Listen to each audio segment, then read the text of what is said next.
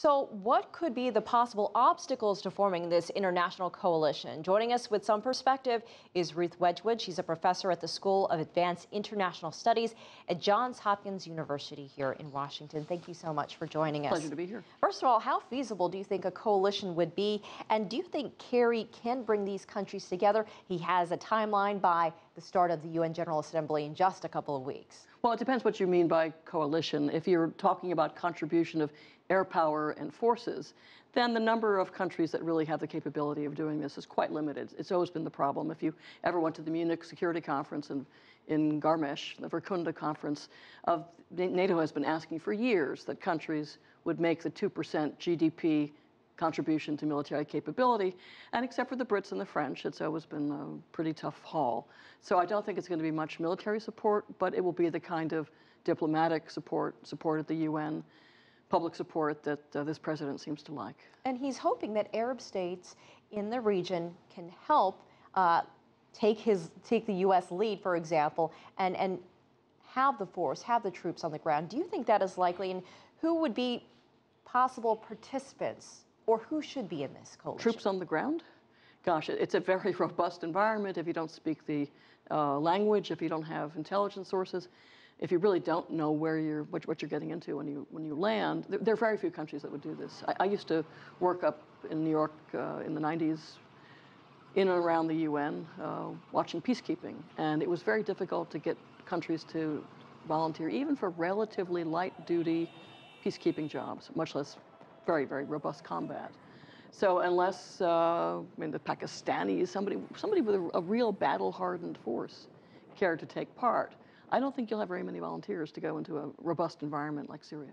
But it seems like there are so many, especially in that region, who have the common goal, or at least agree on, fighting IS. A lot of people are scared. The Turks, Turks are and should be scared. Uh, so I, I do think countries might be willing to consider it. But one of the problems in any kind of coalition operation is interoperability.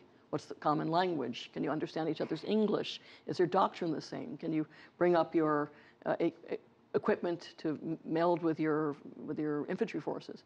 So it's it's not a simple kind of um, uh, claymation, mix the head with the body kind of um, child's exercise. It's, unless you've trained to it, it's very difficult. I think the U.S., unfortunately, now is reducing its military investment. It's just, just the wrong time to have done it. It's too late to turn it around quickly. But I do think this is a real reality check for any White House, including this president, uh, that they should not lightly give up U.S. capability because push come to shove, we've become the kind of 911 for much of the world.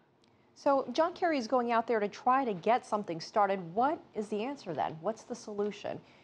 Well, I think countries will give money. I think that uh, in some ways will it will mildly aid the budget deficit that will otherwise increase.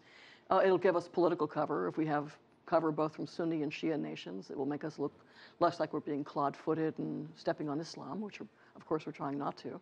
Uh, but I don't think operationally it's going to do us that much good. I don't think we want to be in bed with Assad he's a thug.